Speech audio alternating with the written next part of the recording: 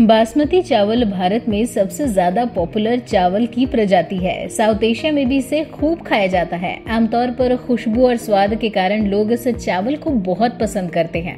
कुछ लोग बासमती चावल को इसलिए भी पसंद करते हैं क्योंकि इसके दाने लंबे और खिले खिले होते हैं, जिसके कारण ये देखने में भी खूबसूरत लगते हैं। मगर क्या आपने कभी ये सोचा है कि बासमती चावल हेल्दी भी होते हैं या नहीं? अलग अलग किस्म के चावलों की अलग अलग खूबियाँ भी होती हैं। इसके अलावा ये चावल व्हाइट और ब्राउन दोनों तरह के पाए भी जाते हैं। तो आइए इस वीडियो में जानते हैं कि बासमती चावल में मौजूद तत्व आपके लिए फ़ायदेमंद हैं या नहीं, और क्या आप इसे रोज़ाना खा सकते हैं। नमस्कार, मैं हूँ सुकृति रॉय चैटर्जी, और बोल स्काई में आप सभी का स्वागत है। बासमती चावल भी कई तरह के होते हैं, इसलिए इनके पोषक तत्वों में भी थोड़ी बहुत भिन्नता होती है। मगर आमतौर पर सभी बासमती चावल में कार्ब्स और कैलोरीज की मात्रा ज़्यादा होती है। इसके अलावा इनमें फॉलेट थाइमीन और सेलेनियम भी मौजूद होते हैं।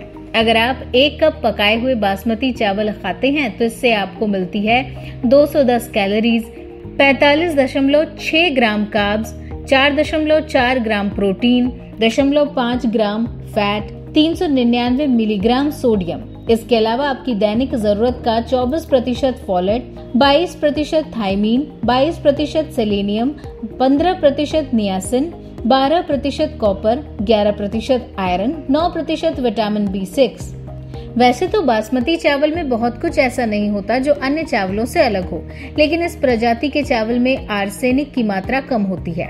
आर्सेनिक एक ऐसी धातु है जो ज़्यादा मात्रा में खाए जाने पर व्यक्ति को डायबिटीज़, हार्ट की बीमारियाँ और कुछ तरह के कैंसर का रोगी बनाती है।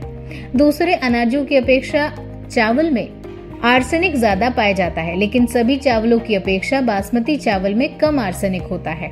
हालाँकि ब्राउन बासमती चावल में आर्सेनिक की मात्रा व्हाइट बासमती से ज़्यादा होती है।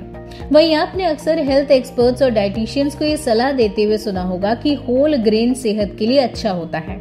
वास्तव में साबुत अनाज यानी होल ग्रेन खाने से हार्ट की बीमारियाँ, कैंसर और प्री डेथ का खतरा कम हो जाता है।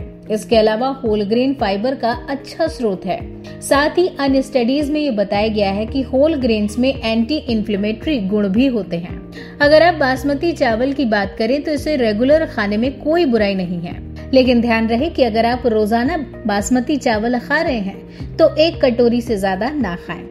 फ़िलहाल इस वीडियो में इतना ही। वीडियो को लाइक और शेयर करें। साथ ही चैनल को सब्सक्राइब करना ना भूलें।